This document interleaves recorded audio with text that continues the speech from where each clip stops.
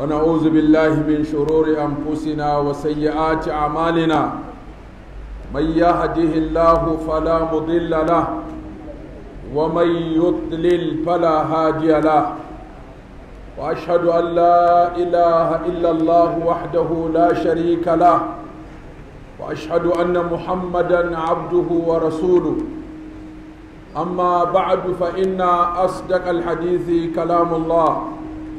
وأحسن الحديث هدي محمد صلى الله عليه وآله وسلم وشر الأمور محدثاتها وكل محدثة بدعة وكل بدعة ضلالة وكل ضلالة في النار اللهم صل على محمد وعلى آل محمد كما صليت على إبراهيم وعلى آل إبراهيم إنك حميد مجيد اللهم بارك على محمد وعلى آل محمد كما باركت على إبراهيم وعلى آل إبراهيم إنك حميد مجيد السلام عليكم ورحمة الله وبركاته وعليكم السلام ورحمة الله وبركاته يومنا أشرين دشدا ga watan ramadan daren 27 allah ya sa shi ne lailatul qadari.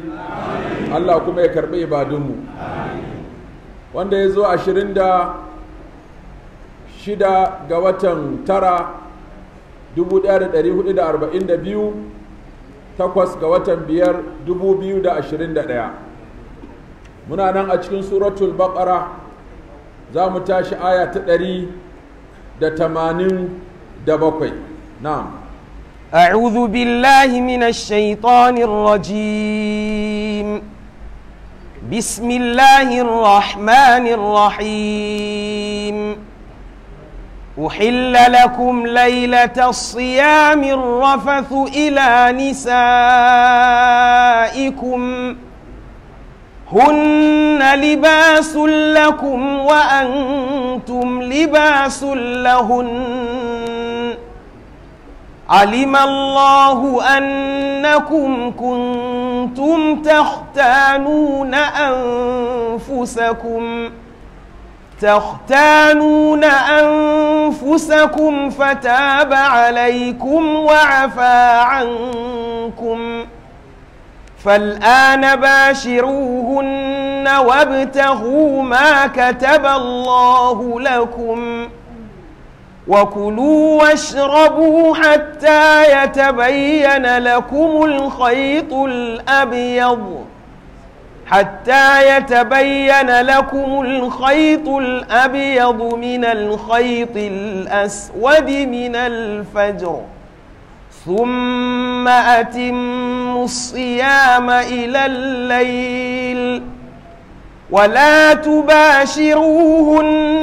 وأنتم عاكفون في المساجد تلك حدود الله فلا تقربوها كذلك يبين الله آياته للناس لعلهم يتقون wannan aya ta ɗari da tamanin da bakwai.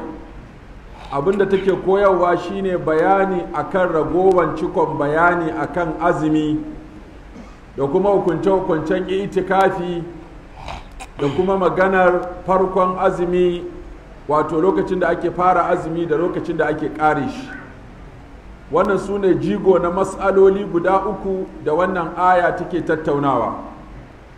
Imamul bukhari ya rawaito hadisi mai lamba ta 1915 daga hadisin albara yake cewa kana ashabu muhammadin sallallahu alaihi wasallama iza kana rajulu sa'iman wato sahabban manzon Allah sallallahu alaihi wasallama sun kasance idan mutum ɗaya daga cikinsu yana azumi fahadar al-iftaru sai lokacin buɗe baki ya yi fanama qabla an yuftira sai ya yi bacci kafin wato ya yi buɗe baki.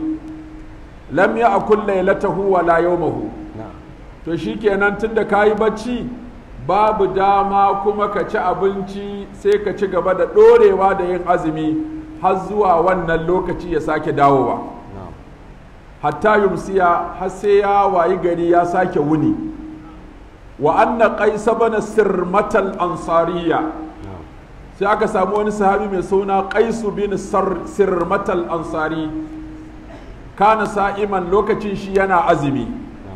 Falamma hadar al-iftaru da lokacin buɗe baki yayi a tamra'atahu sai zo wajen matarsa. Faƙala laha sai ce wa matarsa tasa a indaki ta'amun? Shin akwai abinci? Ƙalat la ta ce yau kan ba abinci. Walakin an ɗaliku sai dai bari in tafi in nemo maka abincin. Fa atlubu laka in je in nemo maka abinci. Wa kana yawmahu ya'malu shi kuma ya wuni a ranar yana aiki. Fa galabathu aynahu sai idansa ta rinjaye shi bacci ya ɗauke shi. Faja'at hutumra'atuhu sai matarsa ta zo falamma ra'athu qalat da ta ga yana bacci sai ta ce khaybatan laka. Oh abu ya shafe ka. Falamman tasafan naharu to tunda dore yayi da aka zo tsakiyar rana wajen sha bibi ɗin nan bushiya alaihi sai ya suma. Yawa fazukira zalika linnabi sallallahu alaihi wasallama sai aka gaya wa annabi sallallahu alaihi wasallama wannan azumi fa da idan an yi bacci ba a yi sahur ba sai dai a yi ɗore. Ya sa wani sahabi gashi can ya faɗi ya suma. Fa nazalat hazihi ayatu da kun ji sababin saukar wannan aya. Uhilla lakum lailata siyamin rafathu ila nisaikum. Mm. fa farihu biha farhan shadidan. Jin wannan aya ta sauka Allah ya ce na halatta ko an halatta muku. In ka ji an ce an halatta abu to da haramun ne. Mm. In kuma ka ji an ce an haramta abu to bai yi wa wataƙila halal ne kuma wataƙila ba halal ba ne bambancin su kenan. Kamar huriman alaikum ummahatukum. Dama iyaye ba halal ba ne. To amma wasu suna keta doka su je su neme su don haka aka ce an haramta. Sai sahabbai suka yi farin ciki. Wa nazara wa kulu washrabu hatta yatabayyana lakum al-khayt al-abyad min al-khayt al-aswad min al-fajr sai kuma wannan aya ta sauka. Shine Allah subhanahu wa ta'ala ya ce uhilla an halatta muku. Waye mai halattawa? Allah. Amma nan sai aka ɓoye sunan Allah ɗin aka ce an halatta muku. Mun san ba mai halattawa ya haramta sai Allah. Wala taqulu lima tasifu alsinatukum alkadhiba haza halalun wa haza haramun litaftaru ala Allahi alkadhib. Innal ladhina yaftaruna ala Allahi alkadhiba la yuflihun. Da haka mai halattawa shine Allah. Duk da a nan ba a faɗi sunansa ba an ce uhilla an halatta. Wato idan an halatta abu bayan da haramun ne aka halatta shi. To kaga kenan wato wannan abin ya zama halal ne ila yawmul qiyamati tunda ba mai halattawa ya haramta sai Allah. Da haka Allah ta'ala ce uhilla an halatta lakum a gare ku. Me aka halatta muku? Arrafasu ku je ku yi mu'amalan aure da iyalanku lailatas siyami. A dare lokacin azumi a cikin watan azumi da daddare lailata siyam. Ba nahar siyam ba nahar dama ba a ba a saduwa da iyali. To sai aka ce lailata siyam wannan shine zarf din. Ma'ana an halasta muku mu'amala aure da iyalanku a cikin azumi amma fa da daddare. Na'am yana mafhumul mukhalafa banda da rana. Mm. an halasta muku ku nemi iyalanku da daddaren azumi daren azumi. Kenan ban da ranar azumi ko? Ila nisa'ikum. Arrafathu yana ɗaukan ma'anoni guda biyu. Akwai mu'amala aure da iyali akwai kuma maganganu waɗanda suke bayuwa zuwa ga haka wanda ake kiransu kwarkwasa kwarkwasa. To waɗannan biyun an halasta muku ila nisa'ikum zuwa ga matanku. Kenan banda karuwai banda fasikai i zuwa ga matanku. Ba a ce zuwa ga mata ba. Wannan sai fi da duwace ba matarka ba. Wallazina hum li furujihim hafizun illa ala azwajihim aw ma malakat aymanuhum fa innahum ghairu malumin. Kisa Allah ya ce ila nisaikum zuwa ga matanku. Matanku. Ma'ana matanku da aka halasta muku to an halatta muku mu'amala aure da su wanda da can ba a halatta ba. Mun faɗi cewa azumi ya zo mataki mataki har guda huɗu wasu ma suna mataki biyar. Matakin farko shine an fara da azumin ashura shine azumin da musulmi suka fara a tarihi. An yi shi a matsayin wajibi a shekarar farko bayan hijira. Sai aka soke wajabcinsa a shekara ta biyu bayan hijira. Da aka sau ɗaya aka yi shi a matsayin wajibi azumin ashura. To sai kuma aka halasta wasu ce akwai kuma azumin salasata ayyamu min kulli shahar. Akwai lokacin da aka ba da umarni a dinga yin azumi ƙwaya uku kowane wata. In kai ƙwaya uku Allah zai ninka kowane ɗaya ya koma goma. Man ja'a bil hasanati falahu asharu amsalha waɗannan azumumuka guda biyu duka an yi su ne da sunna.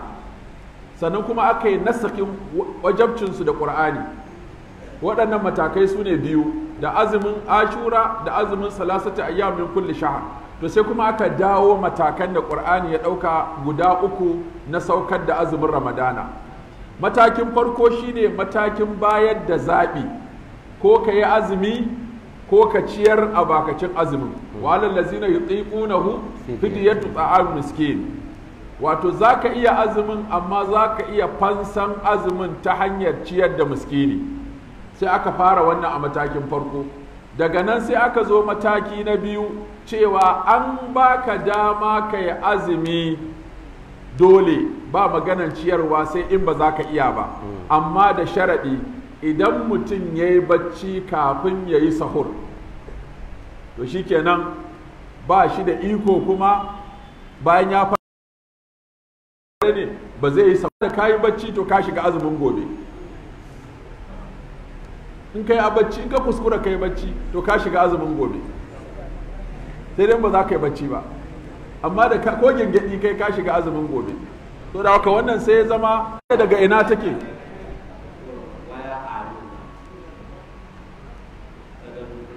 Daga duku take. Ka ce shekarunta nawa?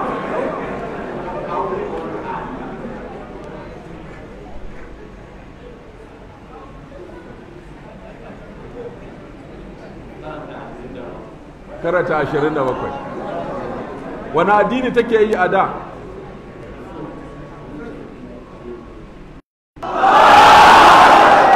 Ta amince? Ka ce ta amince annan muhammadu bawan allah ne manzan allah ne wanda allah ya aiko shi da musulunci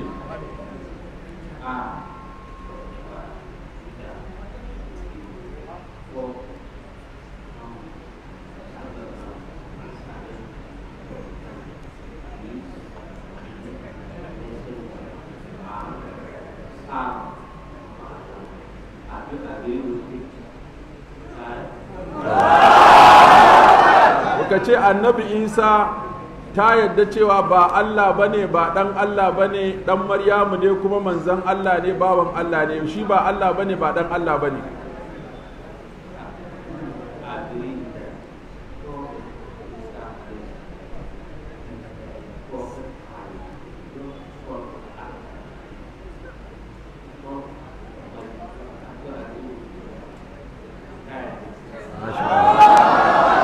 ce ya sunanta?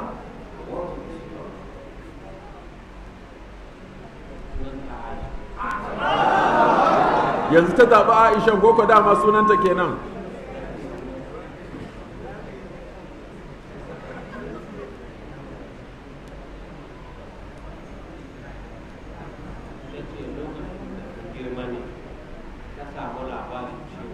Ta zo ta sa ta a makaranta kuma ta mai da ita addinin kiristanci. Sai yanzu da ta girma sai ta gano cewa iyayenta musulmi ne. Waccan da ta yi mata alheri ita ta musanya mata addini. Shine take son ta dawo addinin musuluncin da iyayenta suka haife ta a ciki. Allahu akbar. Ka ce muna taya ta murna da Allah ya dawo da ita addinin musulunci. Da aka bi wajen wajabta azumi na ramadana. Mun ce matakin farko an ba da zaɓi ko mutum ya azumi ko ya ciyar da miskini a bakacin kowane azumi ƙwaya ɗaya. Sannan mataki na biyu aka ce duk wanda ya ɗauko azumi to lalle kada ya bacci kafin ya yi buɗe baki. Idan ya kuskura ya bacci kafin buɗe baki to ya riga ya shiga azumin gobe. Da aka ba zai wannan shi ma sai ya zama matakin shi ma sahabbai sun daure sun yi hakan. Sannan sai mataki na uku shine wannan aya ta kawo shi sa aka ce shine cikon bayani akan azumi. Allah ta'ala ce uhilla lakum an halatta muku lailatas siyamin rafathu ila nisaikum. An halasta muku yin kwarkwasa ko mu'amala aure zuwa ga matanku a cikin dare da azumi a daren azumi. Daren azumi kaidi ne ban da rana dama dare da rana muke da shi. To a cikin daren aka halasta muku. Hunna libasun lakum. Su matan nan tufafi suke a gare ku. Wa antum haka nan kuma libasun tufafi kuke lahunna a gare su. Wato matanku tufafinku ne kuma tufafinsu ne. Ta don a rufe tsiraici. To matarka tana rufe maka tsiraici. Tana kare maka mutunci. Kai ma kana tsarewa matarka tsiraici kana kare mata mutunci. Sannan tufafi ana sa su domin a yi ado. To matarka takan zama ado a gare ka kai ma kakan zama ado a gare ta. Sannan tufafi suna da kala-kala akwai tufa mai tsada akwai tufa mai arha. Kaga wani zai aure mai tsada zai nema wani kuma ya tashi aure ya nemi mai arha. Sannan tufa ɗin ma akwai wanda yake kartani akwai na auduga akwai na leda akwai na roba ko? To kowa ya tashi akwai kalarsa. Sannan kuma tufan nan akwai fari akwai ja akwai kori akwai roɗi-roɗi akwai rawaya akwai munjiriya ko? Akwai shuɗi-shuɗi akwai garahuni kala-kala ne to kowa kuma akwai kalarsa. Sannan tufan nan akwai mai tsada akwai mai arha. Sannan tufan nan kuma akwai mai kauri akwai mara kauri. Sannan tufan nan kuma akwai wajen ɗinki kuma. Akwai wanda za a yi maka ɗinki ya maka daidai akwai ɗinkin da zai matse ka akwai ɗinkin da zai maka yawa. Haka nan su ma matan suke.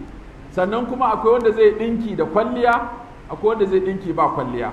Sannan akwai wanda yake sa tufa mai ratsi da wata kala akwai wanda yake sa kuma tufan da bata da ratsi. Sannan akwai wanda yake yin tufa tufan ta zama kala ɗaya asin da asin. Sannan kuma akwai wanda yake yin mis da wasu kaloli. To duk waɗannan ɗabi'un tufafi ɗin da masu tsada da masu arha da masu kauri da marasa kauri da na auduga da wanda ba na auduga ba da masu tsada da masu arha a wajen ɗinki kuma da masu yi maka yawa da daidai da kai da ƙasa da kai da masu laushi da marasa laushi da kala ɗaya kawai da wasu kaloli. Yadda muke ɗin nan kowa akwai kalar da yake so a cikin abin to haka nan su ma matan haka mu ma muke.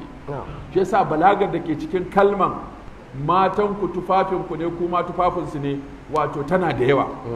Da haka kowa ya ƙoƙari in yana da halin yin aure ya aure domin ya samu tufa ya samu sutura.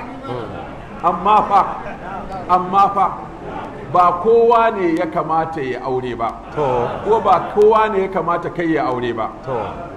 Malamai fuka ha'u sun yi balaga sun nuna ilimi da zurfinsa.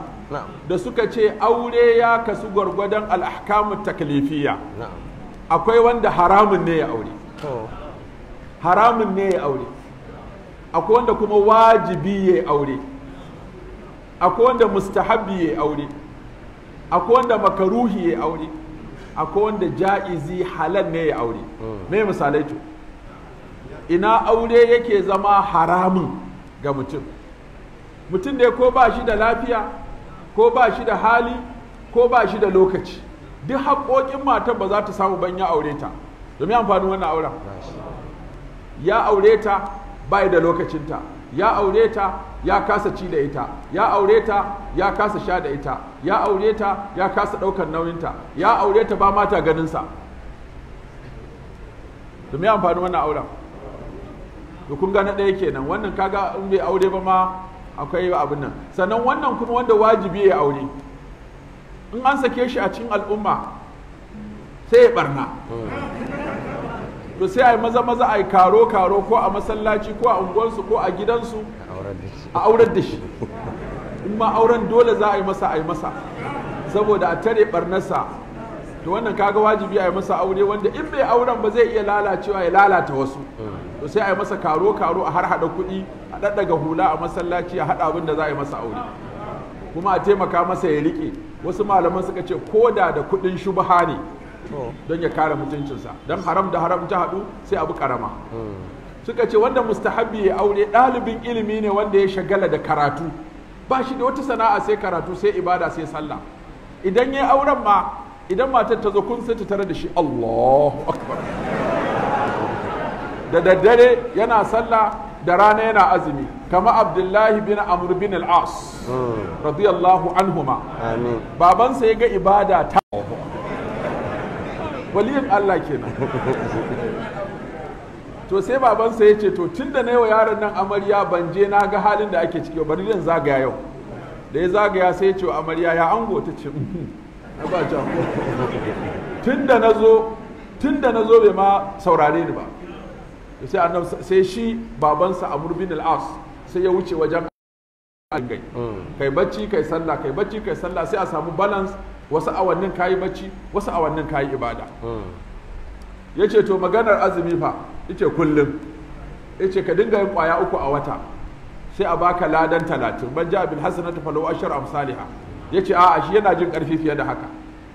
Yace to ka dinga yin azumi wato kwana biyu ka sha kai azumi kwana ɗaya. Yace shi yana jin fiye da haka. Yace to ka dinga azumin annabi dauda. Kai azumi yau ka sha gobe ya ce ba sama da na annabi dauda. Ka tsaya a haka.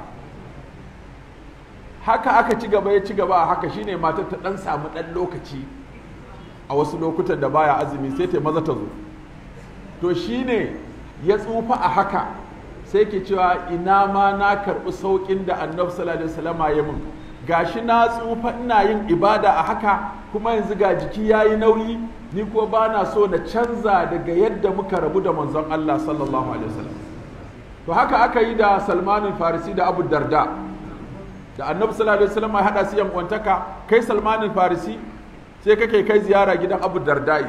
Sai ka tare da Ummu Dardai ta yi baza baza ba kwalliya ba ado ga gida burbur ita me yake faruwa? Tace ai dan uwanka baya kula ni.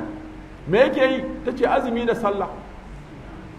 Sallah da daddare azumi da rana. Baya kula sai ce to kawo min tabarma in zauna. Ya zauna sai ga Abu Darda ya da kasuwa. Barka da zuwa masha Allah. Ce me kake yau? Azumi ya ce wallahi sai ka karya. Sai na yi mai ya ce wallahi sai ka karya. Wannan abincin da ka kawo min tare za mu ci. Ya takura shi sai da ya karya azumin suka ci abinci. Ya ce kuma yau a gidan zan kwana ga abin da za yi. Dare na yi allahu akbar. Sai ya ci kwalarsa. Kwanta kwanta. Ci kwalarsa ya tashi kasa ce kwanta bacci za ka ya ja shi ya bacci. Can dare tsala ce to tashi kai sallar a babawa Allah. Da gari yawa ya ce masa na maka gyara ne. Inna li zawjika alayka haqqan. Wa inna li nafsika alayka haqqan. Wa inna li fa'at kulli haqqin haqqahu. Ba haka ake ba kawai dan wata ibada sai kai watsi da matarka. Shi ne je ga annabi sallallahu alaihi wasallam ya ce ga yadda salmanu ya masa a gida jiya. Ya kai sa shi ya karya azumi ya hana shi sallah sai ce sadaka salmanu. Salmanu gyaran da ya maka shine daidai. Ba a son ka wuce gona da iri a ibada haka cinye lokacin iyayenka lokacin aiki lokacin ofis lokacin matanka lokacin 'ya'yanka ka ce ba ka da lokacin kowa kana ibada. Haka wani mutum a lokacin sai da umar shi ma da ya amarya kawai sai ya sallah da dare azumi da rana. Sai ta wata ce sai da umar na kawo karan mijina. Ce me miki? Ta ce yana sallah da daddare azumi da rana. Ce masha Allah ni'imar zauji zaujiki ha amma fa kin yi sa'an miji. Sai wani ya ce ya amiran baka fa gane ba. Ai wannan ƙara ta kawo ai ba yabansa take ba. In ya yi azumi da rana ya yi sallah da daddare ina lokacinta? Hira ma ba a tsaya ai da ita. Balle a saurare ta. Sai ce to tun da ka gane kira su kai musu sulhu. Yasa aka kira mijin. Me ya faru? Yace iza shamsu kuwirat. Wannan sura ta firgita ni. Gani nake alkiyama ga ta nan kawai tashi za ta yi. Yasa kawai na yi watsi da kowa an banda sallah da azumi ba abin da nake. Ce haka ne to amma kuma akwai kana da mata. Ita kuma ina lokacinta? Ya ce yanzu mu kaddara matanka huɗu. In za ka yi musu rabon kwana ya za ka yi? Ya ce kowace zan bata kwana ɗaya ɗaya. Sai ce yawwa to sai ka ɗauki kwana uku kana sallah kana azumi ta kuma sai ka bata kwana ɗaya. In ka yi sallah yau kai sallah gobe kai sallah jibi gata daranta ne. In kai azumi yau kai azumi gobe kai azumi jibi citta ranar ta ce ba azumi ba sallah a ranar ta nafila. Kin yadda? Ta ce ta yadda. Ka yadda kai duk kwana huɗu zaka bata ɗaya a ciki ya ce ya yadda. Sai aka yi sulhu a haka. Sai je gaya sai na umar umar ya ce ya kaware matsalar? Yace na yi na ware ta yadda shi ban hana shi ibadar ba ita kuma ban ba hana ta lokacinta ba. To fa yanzu mutanen da ba sa ba iyalinsu lokacinsu ba ma fa ibadar bace ta ɗauki hankalinsu. Kullum kukan da mata suke yi wani fasikanci ne a waje? Wani kasuwanci ne wani zaman hira wani chatin ta kwalliya ta abinci ta girki ta tsaya tana jiran ka har abincin ya huce kana can a cikin tabarmar gulma. Kuna ta gulma kuna zagin mutane kuna cin naman su a waje. Kun ki ku shiga wajen iyalan ku hira da su ku ba su lokaci. Yanzu babban matsalar mata ba time. Yasa ga yanzu masu arzikin duniya suna ta sakin matansu saboda business ya ɗauke hankalinsu ba a ba lokacin mata. To wannan muhimmi ne. Wata mata ta kawo ƙaran mijinta. Ta ko matar ce ta ce ya rasulallah mijina ina sallah sai imin duka. Kuma baya tashi ya sallah asuba sai rana ta fito. Ka san da ka ji ƙara kakkai saurin yanke hukunci. Sai ya ce a kira mijin. Aka kira shi ya ce kai mataka ta kawo ƙaraka ta ce in tana sallah sai ka buge ta. Ice haka ne. To kuma ta ce ba ka sallah asuba sai rana ta fito ya ce haka ne. To ya haka haka? Ya ce wato ita wannan mata da na auro ta wata irin ustaziya ce. Ba wato da na zo sai tara Allahu da ta aje min abinci na sai ta tara sallah Allahu ustaziya ya auro. Ita ba ma ruwanta irin wai kai kwalliya ko kai tsafta ko kai ƙunshi ko ita kawai sallah. Shi ko mijin ya gaji da jirinta tana sallah kawai sai ya je ya tankaɗe ta. Sai adam ya ce to ai yayi ki wannan. Ke za ki ki dinga tada sallah? Mijin ki yana so ya hira da ke magana da ke saurare ki kaza kaza. Wannan ke ma sai ki gyara. To sallar da kake fasara ce wallahi ni ko mugun bacci gare ni. In na da daga aiki ina aikin ƙarfi ina shan wahala. Wata ran sai na makara ban samu sallah ba sai rana ta fito nake ya ce to man nama anis salati aw nasiyaha falyusalliha idza zakaraha fa innahu lawaqatuha fala kafarata lahu illa zalika duk kenan aka bare tasa matsalar to kun ga annabi sallallahu alaihi wasallam ya daidaita al'amura da haka matan mu tufafin mu ne mu ma tufafin su ne wannan balaga ce ta alqur'ani da ware matsaloli wannan aya zaka ware matsaloli da yawa da ita to da duk wanda ya wulaƙanta matarsa ya wulaƙanta nasa tufan. Domin tufan matan ne a jikinka kai kuma naka a jikinta. Ko kowa mutunta kowa ya kamata yayi kowa ya zauna da kowa lafiya. Alimallahu Allah ta'ala yana sane. Ilmun lahi a haɗa bi kulli shay'in ilma. Mun ce ilimin Allah subhanahu wa ta'ala ya haɗa abubuwa guda takwas. Na farko ya alamu ma kana. Na biyu wa ya alamu ma ya kunu na uku wa ya'lamu ma lam yakun law kana kaifa kana yakunu. Sannan ya alamu zawahirar umuri wa ya alamu bawaƙinar umuri. Ilmuhu gairi masbuƙin bi jahali wala malhuƙin bi nisiyan ilmuhu ya shimalul mustahilat wal ja'izat wal mumkinat. Kaga abubuwa goma kenan ilimin Allah ya haɗe. Da aka a haɗa bi kulli shay'in ilma wa ahasa kulla shay'in adada subhanahu wa ta'ala. To Allah ya ce alimallahu annakum. Allah ya sani tabbas kuntum. Kun kasance takhtanuna anfusakum. Kuna ha'intar kanku. Wani irin ha'inci suke? Wato da aka ce in an yi bacci in an farka ka a ci abinci an shiga azumin gobe to tunda da daddare ne a ɗaki mutum sai ya zagaya ya ɗan sha kuninsa ya ɗan ci kosansa sai ya goge bakinsa. Allah ya ce na gan ku. Na ga abin da kuke yi. Tunda na ce an yi bacci ka ai sahur wato in kuka yi baccin ma sai ku yi sahur a ɓoye. To alimallahu annakum kuntum takhtanuna anfusakum. Amma da yake sahabbai ne sai Allah ya ce fataba alaikum. Allahu akbar. Allah ce fataba alaikum na yafi ma'ana suka ce taba alaikum ma'ana Allah ya goge waccan dokar. Taba alaikum abin da kuka yi ɗin nan na ku yi sahur bayan kun yi bacci ko ku je ma iyalanku bayan kun yi bacci taba alaikum kafin ku tuba ma an yafe muku. Wannan ita ce ɗabi'ar da Allah yake wa sahabbai. In suka yi laifi sai ya ce ya yafe musu.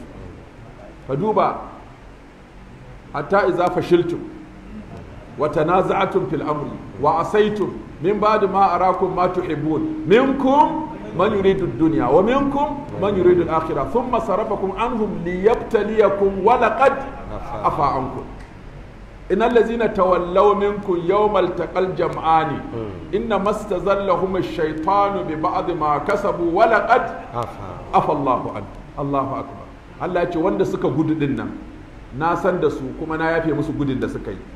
Wanda suka juya baya ɗin nan na san abin da suka yi kuma na yafe musu. Allahu akbar. Sahabbai kenan. Yasa Allah ya ce wa Annabi sallallahu alaihi wasallam fa'afu anhum. Kai musu afuwa. Wastaghfir lahum. Ka nema musu gafara. Wa shawurhum fil amr kai shawara da su. Wastaghfir li zambika wal lil mu'minina wal mu'minati. Fataba alaikum dan haka Allah ya karɓi tubanku ya yafe muku. Wa afa ankum. Laqad taba Allahu ala nabi wal muhajirin wal ansar. Wa afa ankum kuma Allah ya muku afwa. Wato a ce Allah ya maka afuwa shine ka sha duniya da lahira. Shi yasa lokacin da nana Aisha take cewa ya Rasulullah idan na dace da daren Lailatul Qadr me zan roka sai shi cike Allahumma innaka afuwun tuhibbul afwa fa'fu anni afa Allahu an kalima azinta lahu wal ya'fu wal yasfahu. Ala tuhibbuna an yaghfira Allahu lakum? Afa Allahu anka. Inna Allah kana afuwan qadira afuwan gafur afuran gafura. Allah mai afuwa ne. Al'afu ismu min asma'illah ta'ala. Allahumma innaka afuwun tuhibbul afwa. Ta yi waƙa ce to ai wannan addu'a ni kamar ma ba roki komai ba. Afuwun tuhibbul afwa to ina bukatuna ina gida ina mata ina yaya ina dukiya ina cin jarabawa ina samun aiki ina kaza. Afuwun tuhibbul afwa. Idan Allah ya karɓi wannan duk abin da kake so a duniya sai ya yi maka kuma ba tare da kayi laifi ba. Duk abin da kake so a lahira kuma sai maka ba tare da ya kama ka da laifi ba. Shi yasa a kalman wannan addu'a babu abin da bai shiga ciki ba na duniya da na lahira. Dan dama abin da kake tsoro kana yin abu a duniya kana tsoron kakka laifi. Kuma kana zahira kakka ji a kama ka da laifi. Sai ka ce to a duniya baka da laifi a lahira ma baka da laifi. To wanda Allah ya masa wannan kuma ai ya sha. Kai aikinka kai karatunka ka ci jarabawa kai aiki shikenan. Shi sa wani sahabi annabi sallallahu alaihi wasallam ya ce faɗa abin da kake so. Sai ce as'aluka murafaqataka fil jannati. Ya rasulullah so nake gani ga ka aljanna. Yace wata akwai wata buƙata ya ce wannan ta isa. In dai na samu wannan domin nake jira. Duniya dama ko ka ci ko ka sha duk karewa za ta yi. Amma lahira ita ce khairun wa abqa. Da haka so nake in yi makotaka da kai alkiyama Allahu akbar. Sai Allah ta'ala ya ce fataba alaikum wa afa ankum. Al'afu wat tauba. An karɓi tubanku kuma an yafe muku ba laifi a kanku. Abinda kuka ya wuce. Fal'ana ismu ishara lizzaman. Al'ana yanzu daga yanzu ba shi ruhunna. Ku je ku rungumi matanku ku je ku yi mu'amala aure da su. Wabtagu ma kataballahu lakum. Ku nemi abin da Allah ya rubuta muku. Alkitaba kauniya ce ko shar'iyya? Idan kitaba kauniya ce idan mutum ya mu'amala aure da matarsa ta samu ciki za a samu ɗa. A cikin 'ya'yan nan za a samu nagari da za su bauta wa Allah. Shine ma kataba Allahu lakum kitabatan kauniyatan. Ko ma kataba Allahu lakum kitabatan shar'iyya. Kitaba shar'iyya shine abin da Allah ya rubuta muku na ku tashi kuma ku sallar dare ku addu'a ku istighfari ku hailala. Ma kataba Allahu lakum. Fal'ana bashiruhunna sannan wabtagu ma kataba Allahu lakum wa kulu washrabu. Allah ce ku ci gaba da cin abinci da daddare. Washrabu ku ci gaba da sha. Hatta ya tabayyana lakum al-khayt al-abyad min al-khayt al-aswad min al-fajr. Har sai zane fari ya bayyana daga zane baki na asuba. Ma'ana daga keto alfijir zuwa faduwar rana. Shine azumi. Kenan Allah ya faɗi min da ila. Daga yaushe ake fara azumi? Daga yaushe ake karewa? Me amsa? Azumi yana farawa daga wani lokaci? Daga keto alfijir zuwa yaushe? Zuwa faduwar rana. To shine wannan aya ta magana ga lokacin fara azumi ga lokacin karewa. Yasa malamai suka ce as-sawmu huwa al-imsaku anil bi niyyatin ta'abbudan lillahi ta'ala min tulu'il fajri ila ghurubi shamsi. Ta'abbudan lillahi ta'ala min tulu'i shams min tulu'il fajri ila ghurubi shams. Wannan shine lokacin fara azumi. Daga ketowa alfijir azumi ya fara. Da rana ta faɗi ba sai an yi duhu ba. Kada wani ya ɗauka laili da aka ce laili yana da awwal yana da sani yana da salis yana da rabi har da akhir har da lailin akhir. To da aka ce ilal laili ana nufin ila awwalin laili. Awwalin laili shine faduwar rana. Wasu kan ce sai sun bari gari yayi duhu. Wannan ba laili kenan ba cikin daren kenan. Zuwa ga dare aka ce ba zuwa cikin dare ba. Ba ila fil laili ba. A ilal layl da haka da daren ya fara lokaci ya fara. Kamar yadda wancan ma da alfijir din ya fara lokacin azumi ya fara. Da dare ya fara lokacin wato azumi ya kare thumma atimmu siyama ila layli e, sannan sai ku cika azumi zuwa dare. Thumma atimmu siyama. Can an faɗi lokacin farawa nan kuma an faɗi lokacin karewa thumma kaga Allah ya atsafi da summa domin summa tana nufin kenan sai an samu tarahi daga fara azumin zuwa kare shi awanni ne. Misali yanzu a Najeriya muka yi kusan awa goma sha huɗu a wannan shekarar muna azumi. Dare yakan yi awa goma rana tana yin awa goma sha huɗu. Akwai yadda suke yin rana ta awa goma sha takwas dare ya awa shida. Akwai yadda ake samun balance a dare awa goma sha biyu rana awa goma sha biyu. Akwai ma wata ƙasar da suka samu awa tara rana. Shine suka fi kowanne yin ƙarancin azumi a shekarar da ta gabata. Sun yi awa tara suna azumi. Wannan shekara ban ji labaran duniya akan yaya azumi yake kasancewa a ƙasashe daban-daban ba. Wani gurin da tsananin sanyi wani gurin da tsananin zafi wani gurin da lokaci madaidaici. Wani lokacin azumin su ya fi tsawo wani gurin lokacin azumin su ya fi gajarta. Duk wannan hikima ce ta Allah subhanahu wa ta'ala. Shine Allah ta'ala ya faɗi farkon fara azumi da ƙare shi. Ya ce thumma atimmu siyama ila layli sannan ku cika azumi zuwa dare. Azumi yana ƙarewa ne da fuskantowar dare idan dare yayi ma'ana idan rana ta faɗi. Shine farkon dare. Wala sai kuma Allah ya ce wala tubashiruhunna. Anan togaciya ne da Allah ya ce fal'ana bashiruhunna. Sannan kuma sai ya ce wala tubashiruhunna wa antum akifuna fil masajid. Amma duk da an halasta muku ku je ma iyalanku da daddare ana ramadana amma ban da lokacin da kuke itikafi. Kada wani ya ɗauka wancan halastin ya haɗa hadda masu itikafi. Sai Allah ya ce to ban da masu itikafi na halasta ma duk mai mata ya yi mu'amala aure da matarsa da daddare ana azumi da daddaren watan ramadana. Amma fa ban da masu itikafi. In ka shiga itikafi to ba magana kuma koda da daddaren ne sai dai ka ci ka sha amma ban da iyalinka. Bisa Allah ce wala tubashiruhunna wa antum alhalin wal wawu wal hal. Wa antum aakifuna kuna itikafi fil masajidi. Kenan itikafi ana yin sani a ina? Fil masajidi a masallatai. Masallatai iri huɗu ne a musulunci. Akwai masallacin cikin gida wanda kowa ya kamata a ce yana da wata kusurwa da ya ware ta sunanta masallaci. Na yake na fulfili na yake addu'o'insa nan yake wuridinsa nan yake zikirinsa na safe da yamma. Shi ake kira masallacin cikin gida. Ka ware wani kusurwa a ɗakin ka duk da ɗakin naka kai ƙarami ne amma dai ka ware wata kusurwa inda za ka dinga sallah. Sannan akwai masallacin unguwa wanda ake hamsu salawati. Sannan masallaci na uku wanda ake juma'a. Na huɗu kuma shine manyan masallacin can guda uku da aka ce ko nawa ka kashe ka je musu ba kai asara ba. Masallacin harami da masallacin annabi da masallacin al'aqasa waɗannan masallatai guda uku su ne aka yarda kai kai biza ka tafi ka je ka kai ziyara kai sallah a cikinsu don sun fi dukkan masallatan duniya daraja. To wasu ka ce itikafi sai an je wancan eh ya fi lada a je can amma ko ba dole sai an je can ba. Akwai mazhaban malaman da suke ga duk inda kai itikafi a duniya in dai baka je masallatai uku ba bai ba. Wannan kauli ne mai rauni. Malamai da yawa sun za'afa wannan ruwaya kuma sun dangana cewa mawqufiya ce akan Huzaifa bata tsallaka zuwa ga Annabi sallallahu alaihi wasallama ba shi yasa Abdullahi dan Mas'ud ya masa inkari. Da haka kenan afdaliya ce. Babu itikafi cikakke sai an je masallacin can uku saboda su suna da daraja ta musamman. Amma wanda ba shi da halin zuwa can to sai ya yi itikafi a inda ya samu. In ba sallar juma'a sai kai a kamsu salawati in kwa da juma'a a cikin kwanakin da zaka yi itikafi sai ka yi a masallacin juma'a. In ma kuma kwanaki ne kaɗan sai ka tsaya a gidanka ka kulla iya gurinka ka ce ka koya shigo min na itikafi nake. Wala tubashiruhunna wa antum aakifuna fil masajidi mun yi bayanin itikafi a baya tilka hududullah fala taqrabuha. Waɗancan dokoki da aka lissafo tun daga suratul baqara zuwa nan Allah ya ce iyakoki ne na Allah kada ku kusance su. Iyakokin Allah iri biyu ne. Idan na halasci ne sai a ce ka ku kusance su. In kuma idan kai na haramci ne sai a ce ka ku kusance su. Idan na haramci ne kuma sai a ce ka ku je kusa da su.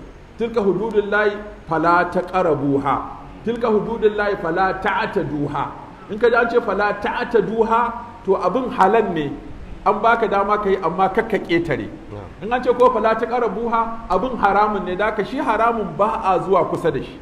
Shi kuma halal ba a ƙetare shi. Za a yi shi amma ka a ƙetare halasci a tafi zuwa ga. Daka hududun layi akwai fala ta ƙara buha akwai fala ta ta duha kazalika Allah ya ce yadda na yi muku bayanin ayoyin nan dalla dalla haka nan yubayyinullahu ayatihi. Allah yake bayyana ayoyinsa dalla dalla filla filla linnasi ga duk mutane baki ɗaya duk mai neman shirya ya zo ya riƙe qur'ani. Hudan linnasi wa bayyinatin min alhuda wal furqan la'allahum yattaqun. Allah ce na yi wannan bayani ne dan ko sa ji tsoron Allah dan ko sa samu takawa. mun ce taqawa abu biyar ne imtisalul awamir wajtinabun nawahi was-sabru ala al-masa'ib wash-shukru ala an-ni'ma wan-nadamu wat-tawbatu ba'da adh wanda ya hada abu biyar ɗin nan to ya samu taqawa Allah ya baka ka ce na gode. Baka samu ba ka ce na yi haƙuri. A baka umarni ka bi. A hana ka ka hannu. Ka aikata laifi ka yi nadama ka yi alkawarin ba za ka sake baka tuba. To da waɗannan abubuwan ake samun taƙawa. Kuma taƙawa shine bin Allah da kuma bin manzon Allah sallallahu alaihi wasallama tare da ikhlasi da mutaba'a da kuma cikakken imani. To Allah ka azurta mu da taƙawa. Allah ka sa mu cikin waɗanda in kan ce ayi Allah ka sa mu cikin masu yi. Allah ka sa mu cikin waɗanda in an ce a bari suke bari. Allah ka sa mu cikin bayinka wanda in ka ba su suke yi maka godiya. Allah ka samu cikin bayinka waɗanda in ba su samu ba suke yin haƙuri su mai da lamari gare ka. Allah ka samu cikin bayinka wanda in sun aikata laifi suke yin nadama su istighfari su tuba kuma ka karɓi tubansu. Allah muna roƙonka a cikin waɗannan kwanaki na Ramadana. Allah ka sa dukkan abin da muka yi na ibada ya zama karɓaɓɓe. Abin da muka yi na kuskure Allah ka yafe mana. Abin da muka yi mai kyau Allah ka sa mu ciki ka sa cikin mizanin hasana. Wannan yau shine tafsirinmu na ƙarshe a wannan shekara. Kuma mun fassara ayoyi daga aya ta 142 sai ƙulu sufaha'u muka fara tafsirin bana. Muka ƙare shi yau a aya ta 187 gaba ɗaya a wannan watan na ramadana mun fassara ayoyi 40 ne da biyar. Allah ka sa waɗannan ayoyi da muka fassara guda 45 duk abin da suka ce a yi Allah ka sa mu yi. Duk abin da aka ce a bari Allah ya sa mu bari. Inda muka yi daidai Allah ka karɓa. Inda muka yi kuskure ko tuntuɓan harshe ko ƙarancin ilimi to Allah ka yafe mana. Allah kuma ya ba mu dacewa ya kuma maimaita mana da alkhairi. Kamar yadda muka faɗa cewa akwai da'awa and relief organization wanda mun bayar da account number kuma alhamdulillah an samu kira daga ko'ina. Uh, wasu sun kirawo daga amurka ma. Wata mata ta ɗauki nauyin maraya ɗan gombe ta biya masa kuɗin karatunsa na secondary school a tsawon shekara guda. Ta aiko an mata lissafi dubu tamanin zai ci da huɗu kuma ta turo kuɗi dubu tamanin da huɗu daga amurka. Kuma ta ce a mata addu'a ita bata haihu ba allah ya bata ɗa. Sannan mijinta kuma ya ce shi kuma a nuna masa yara guda biyu a gaya masa nauyin iliminsu shi ma zai ɗauki marayu biyu. Kuma ta ce za ta baza wa ƙawayenta musulmi da hausawa 'yan ghana da 'yan najeriya da 'yan niger duk hausawan da suke zaune a can da ma waɗanda ma ba hausawa ba 'yan ƙasar asia da turawa za ta baza musu cewa ana da wani kwamiti a gombe wanda ake ɗaukar nauyin maraya ɗaya bayan ɗaya. Kowa ya faɗi adadin da zai ɗauka ya aiko kuɗi na shekara. Domin na mata godiya. Sannan akwai wani shi ma daga amurka shi ma ya ce a bashi kuɗin abincin mutum ɗaya zai ɗauki na shekara guda. Sannan mun gaya muku mutumin da ya ce ya ɗauki nauyin mutum uku har su gama university. Da kuma wata mata a kano ta ɗauki nauyin gidaje guda biyar za ta ci gaba da ba su abinci da kuma ɗaukar nauyinsu. Da mun gaya muku alhaji balatinka da ya ce ya ɗauki albashin gidan marayu wanda ake neman miliyan ɗaya da dubu ɗari uku da talatin da wani abu ya ce ya ɗauke gabaki ɗaya har zuwa lokacin da allah illa ma sha allahu. Zai dinga biya. Duka ma'aikatan zai dinga biya musu albashi allah ya saka masa da alheri. To kamar yadda muka faɗa jami'anmu guda uku waɗanda muka yarda a dinga bugo wayansu kuma alhamdulillah sun ce tunda aka faɗi lambar nan tasu a social media da karatun nan namu an ta samun kira daga ko'ina a duniya ana kiransu ana tattaunawa da su. Akwai dr muhammad lawan wanda muka ba da lambarsa 080 27 91 31 76 wanda ita ce lambar dr. Muhammad lawan wanda gashi nan a kusa. Shine muka ce a kirawo shi in ana neman ƙarin bayani akan wannan wato ɓangare na marayu da kuma sababbin musulunta. Akwai alhaji mai gari muhammad gashi can uh, 080 34 699806 sai kuma dr. Babayo kulo wancan babarbaran kuma sarkin fulani.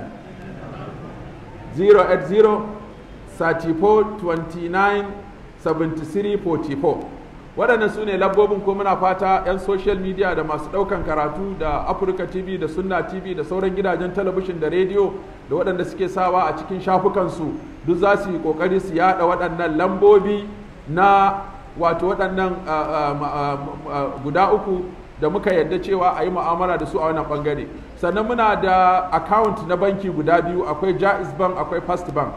Jaiz bank idan ta jaiz bank ne za ka rubuta wannan da'awa and relief organization wannan account din zai fito 0000 guda huɗu sai ka sa 040 a 53228 0000 40 5328 sannan kuma first bank shine 2024-17-9441 2024-17-9441 wannan shine lamba account guda biyu za ga rubuta da'awa and relief organization. Wato muna yin wa'azi sannan muna tallafawa. Yau duk wanda ya zo da rana ya ga adadin matan da suka layi a gurin nan yana da imani sai ya yi hawaye ko sai ya ji damuwa. Mm. Mata ne 717 waɗanda aka zo su zo su karɓi tallafi. Ana raba musu abincin nan gashi ba isassu zai yi ma wani lokaci mai tsawo ba. Amma ka ga fuskokinsu yadda suke murna suke farin ciki kowace an bata ID card ɗinta a ciki an faɗi adadin yawan marayunta da lambar unguwansu da lambar gidanta da inda take zaune. Wata mai marayu bakwai wata mai huɗu wata mai biyar wata mai kaza wata ma abincin an bata ba za ta iya ɗauka ba sai an sa ɗan hizba ya ɗaukan mata ya kai mata har gida. Wata kuma ma mutuwa aka yi gaba ɗaya aka ban mata marayun da wani abin tausayi bai kamata mu bashi yana faruwa cin al'umma. Allah yana ɗauke mana musifa da bala'i idan muna tallafawa marayu. A binciken da muka yi mun gano ayoyi guda ashirin da uku a cikin alkur'ani inda Allah yake magana akan maraya. Wani gurin ka ji Allah ta'ala yana magana a taimaka masa wani gurin ce ka a taba shi fa ammal yatima fala taqhar. Alam yajidika yatiman fa'awa. Wala tahadduna ala ta'al miskin. Ta'kuluna turasa wa tuhibbuna al-mala wani gurin ka ji Allah yana faɗa ara'aita allazi yukadhibu bid-din fa zalika allazi yad'u al-yatim wani gurin Allah ya tura annabawa su je su ginawa marayu katanga ammal jidaru fa kana li gulamaini yatimain fil madinati wa kana abuhuma saliha wa kana tatahu kanzun lahuma wa kana abuhuma saliha kun ga Allah ya tura annabi wato Musa da Khadiru shi ma an ce annabi ne a wata magana ingantacciya suka je suka tada katangan marayu. Allah ya tura annaba. Sannan Allah ya ce shi da kansa yayi kiwon maraya. Ya ce alam ya ji duka yatiman fa'awa. Kuma annabi sallallahu alaihi wasallam ya taso maraya. Yana ciki mahaifinsa ya rasu. Bayan an haife shi da shekara shida mahaifiyarsa ta rasu. Bayan ya yi shekara takwas kakansa ya rasu. Ya tashi maraya ya san mahimmancin maraici. Sai ya ce ana wa kafilin ya taimaka hataini fil janna. Ana wa kafilin yatimi ka hataini. Kafil na yatim. Waye kafil yatim? Wanda yake ɗaukan nauyinsa karatunsa iliminsa abincinsa suturarsa maganinsa. Yanzu wanda ya ce ya yi wa dukkan marayu na ɗinkin sallah. Gwanin sha'awa yaran nan da suka zo kagan su bulbul. Wato duk na ce kowa ya faɗi burinsa wani ce so take ta zama likita. Wata ce so take ta zama lauya. Wata so take ta zama nas wani ce so yake zama injiniya har da wanda ya ce shi so yake zama dan hisba wanda ya ce shi so yake zama dan sanda wani ya ce so yake zama pilot. Na ce to duk wannan abubuwan da kuka yi duk suka gaya min bukatunsu na ce to zan muku addu'a. In kuka zama Allah ya sa kuka zama haka to kun ga yadda al'umma ta ɗaunoyinku kuma ku zama masu tausayi. Mai yiwa a cikin ku Allah zai fitar da gwamnan Gombe na gaba? A cikin ku Allah zai fitar da wato shugaban sojoji ko 'yan sandan kowaye ka san kana maraya al'umma bata tozarta ka ba. Ranar da Allah ya baka dama kai ma sai ka zo mai tausayi. Ka ji ce ni ma maraya ne. Daga gidan marayu aka rene ni. Ni ma yanzu na ɗauki nauyin marayu ɗari a ba su abinci da sutura daga arzikina. Haka muke so alheri ya dinga gangarawa yana maimaituwa. Mutane an musu su ma su yi al'umma su yada alheri. Sharri ya mutu bakin ciki hassada keta mugunta nunkufurci fada kashe-kashe sace-sace duk a daina. A koma ga Allah a ji tausayi a rahama a kiyaye jina ne da dukiya da mutunci a zauna lafiya. Inna jima'akum wa amwalakum wa a'radakum haramun alaikum wannan shine saƙon da muke so kowa ya fahimta. Malam mai tambaya na cewa yana fama da larurar yoyon fitsari ne. To in ya zo masa yana sallah yaya zai yi? Ya zama ciwo. Tunda ya zama ciwo kawai sai kai alwala. Ko kana sallah ka ji yana zuba kada ka yanke ka ci gaba da sallarka duk sanda za ka yi sallah ka yi alwala saboda ya zame maka ciwo sai ka nemi magani. Malam a wani hali ne mai ciki za ta rama azumi kuma a wani yanayi ne za ta ciyar? Zaɓi aka bata ko ta rama azumi ko ta ciyar fatawoyi ne guda biyu masu ƙarfi wanda baka da iko ka rinjayar da ɗaya sai kana da dalili. Dalilin kuma shi ma dai fatawa za ka kawo tunda ba hadisi kake da shi ba. To da haka fatawa wani ya rinjayar da tarama wani ya rinjayar da ta ciyar mu ko mu ba ta zaɓi domin matan sun kasu biyu. Akwai wacce za ta iya ciyarwa tana da hali. Akwai wacce in kace ta ciyar to ina ta samu abin cewa ita ma ci da ita ake. To da haka yin azumin ya fi mata sauƙi sai ta yi amfani da abincin ita da za ta ciyar ita ta ci ta yi sahur. Malami tambaya yana cewa ina matsayin dillanci da kuma 5% 10% da ake cirewa? Dillanci asalinsa halal ne. Amma sai an gaya maka kalar dillancin. Ga wannan moɗa ka je ka siyar da ita naira ɗari zan baka naira goma a ciki. Na gaya maka yadda za ka siyar na gaya maka abin da zan baka to baka da ikon ƙarawa. Ce ga wannan moɗan na baka ita a naira ɗari. Nawa zan siyar? Duk yadda ka siyar amma ni ka kamun ɗari. Nan dillanci ne an gaya ma yadda za ka siyar amma ba a gaya ma nawa za ka samu ba. Da kuma wanda zan ce maka ga moɗata amma ba zan baka ba tana gabana. Nemo mai siye. In ka nemo mai siye da ni za a yi cinikin ni kuma sai in sallame ka. Wannan shine dillanci kala uku kowanne ba matsala. Amma da dillalai suke bata abu sai su hana mai siye da mai siyarwa su ga juna. Ya gaya ma wancan karya ya gaya ma wannan karya ya kara a can ya rage a can ya kara a can ya rage a can. Karshe duk sai ya wafce kafafuwanku gaba ɗaya sai ya fita. Ya magana kuma ya kayan sai ce ya samu alheri. Malam mai tambaya tana cewa bara ba su yi zakkar da kai ba saboda a lokacin mijinta ya rasu. Ta ce ko za su iya biya a lokacin na wannan shekara? Idan hali ne ba ku da shi dama zakka fa akwai mai bayarwa akwai mai karɓa ko kana cikin masu bayarwa ko kana cikin masu karɓa in kana cikin masu karɓa ba za ka bayar ba. In kana cikin masu bayarwa ba za ka karɓa ba. So da haka a halin da kuke ciki in masu bayarwa ne ku ku bayar ba to yanzu sadakatun minas sadaqati sadakatun ce minas sadaqat. Sai dai ku yi sadaka kawai. Ana so a yi ta ne kafin a sako daga idi. Wanda bai yi ta ba aka sako idi to shikenan ta zama sadaka daga cin sadakoki. Malam abokina ya rasu ko in na yi masa addu'a zai same shi ƙwarai. Ai muna cewa rabbana ghafir lana wa li ikhwanina allazina sabaquna bil imani. Duk wannan addu'a ce muke wa kowa da kowa. Malam limamin mu na juma'a ya manta bai yi zaman da yake tsakanin huɗu ba ba. Yaya misalin sallar ba abin da ya shafi sallar ku dan bai zama ba sai kuma ba a mafa shiga sallar ba. A huɗu ba mai zai bata sallah? Hudu ba ce ba cikin sallar da ya manta bai zauna zaman tayya ba zaman huɗu ba kace huɗu ba ko ba a ma shiga sallah ba. Ba abin da ya shafi sallar ku akar makalla. Da na ce in yi masa sadaka ina cikin wanda in sun yi zai same shi.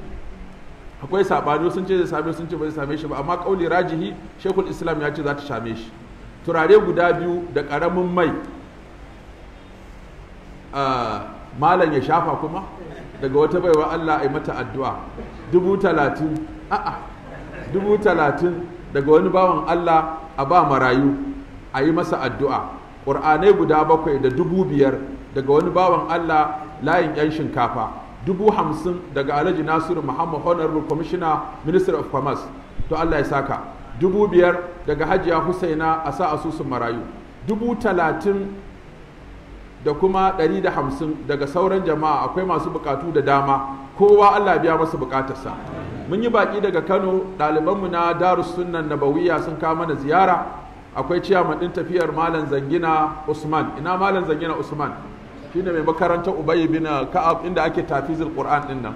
Kuma shine shugaban ɗalibai na cibiyar mu ta kano na darus sunna alarama ne kuma gangaran akwai hafizan qur'ani sama da 300 da suka yayi a makarantarsa. Akwai sakataren mu na darus sunna malam anas madabo. Ina malam anas madabo? Wannan shine malam anas madabo. Kuna ji ana madabo gidan babban malami to daga nan ya fito. Shine sakataren mu na darus sunna. Sannan akwai malam muktar dawanau. Wani babban malami ne a babbar kasuwar da tafi ko ina yawan hatsi a duniya. Malam muktar dawano babban limami ne na masallacin juma'a da ke nan dawano da ake kiransa makka masjid. Sannan akwai malam sha'aibu daga bici babban limami ne a masallaci kuma yana karantar da kutubu sitta. Kana son ka iya bukhari muslim tirmidhi nisai ibn majah abu dauda ka tafi makarantarsa. Amma da an yi asuba ake fara karatu sai an kira magarba ake tashi. Akwai malam usman gaida. Shine na'ibina na masallacin ansarus sunna. Wannan babban malami ne kuma naku ne na nan gombe. Asalinsa na mutumin da ya ba ne. Amma yanzu mun ƙwace shi a kano. Akwai kuma dr. Jamilu ajiya. Dr. Jamilu ajiya dokta ne kuma shine kuma a hizba yake a jami'i ne babba na hizba kuma shine mai kula da ɓangaren tsare-tsarenmu na darus sunna. Malam jamilu ajiya kenan. Sannan akwai wane ne ban hango ba?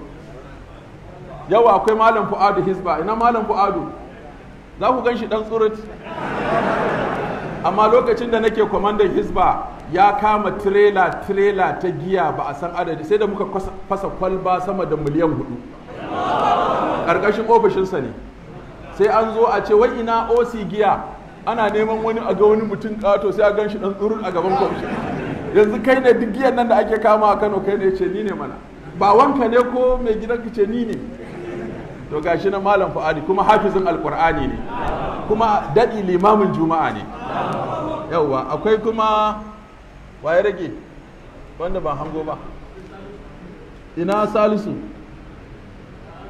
Ok akwai salisu dan agaji akwai agajinmu kuma na masallacinmu na sayyid abubakar waɗanda suka yi rakiya dukansu muna musu barka da zuwa da fatan alheri. Kuma kafin su ta wannan sai da na ba su wani asamin wani ya mun waya ya ce a can cibiyarmu ta daru suna ya kai kuɗi dubu ɗari biyu da hamsin. Shi abin da yake so a je kurkuku a nemi wanda aka ɗaure shi ɗan ƙanƙanin laifi da Allah a yanto shi. To shine suka je kurkuku suka tarar alƙalai suna yajin aiki. Amma dai an samu ganin su yanzu an fito da mutum goma ne mala anas? Mutum goma sha ɗaya yanzu aka ceta daga kurkuku an fito da su an musu wa'azi an ba su dubu biyu biyu su shiga mota su tafi gida su je su karasa azumi a can. Kuma sun yi alkawari wallahi ba za su sake ba. To wannan aikin da suka yi kenan kafin su taho kuma akwai cibiyar salsabil foundation wanda suka ba da kayan abinci aka raba fi sabilillah a jihohi goma sha biyu ciki har da kano kuma sun yi wannan aikin. To muna fata allah ya saka wa kowa da alkhairi allah kuma ya ba mu sa'a allah kuma ya sa mu dace. Allah muna roƙonka cikin waɗannan darare Allah ka karɓi ayyukanmu ka karɓi ibadanmu ka gafarta zunubanmu.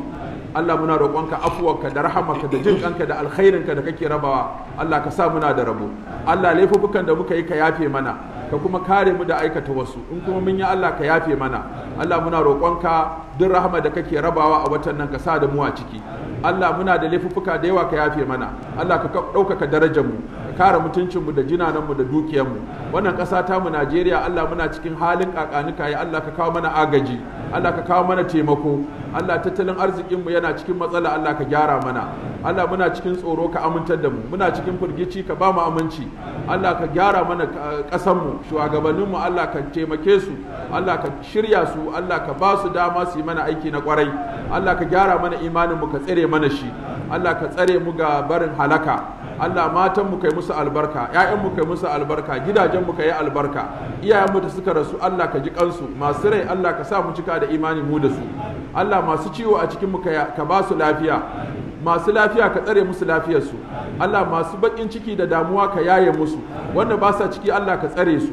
Allah duk wanda yake wata harka ta neman abinci ko sutura ko ma ga Allah ka bashi wannan ka sa man nasara a ciki Allah muna roƙonka kai mana arziki duniya da lahira ka kare mu daga asarar duniya da lahira Allahumma aslih lana dinana allazi huwa ismatu amrina wa aslih lana dunyana allati fiha ma'ashuna wa aslih lana akhiratana allati ilayha ma'aduna waj'al al-hayata ziyadatan lana fi kulli khairin waj'al al-mauta rahatan lana min kulli shar ربنا آتنا في الدنيا حسنة وفي الآخرة حسنة وقنا عذاب النار اللهم إنا نسألك من الخير كله عاجله وآجله ما علمنا منه وما لم نعلم ونعوذ بك من الشر كله عاجله وآجله ما علمنا منه وما لم نعلم ونسألك الجنة وما قرب إليها من قول وعمل ونعوذ بك من النار وما قرب إليها من قول وعمل ونسألك من كل خير سألك منه محمد صلى الله عليه وسلم وعبادك الصالحون ونعوذ بك من كل kulli sharrin ista'adaka minhu Muhammadun sallallahu alaihi wa sallam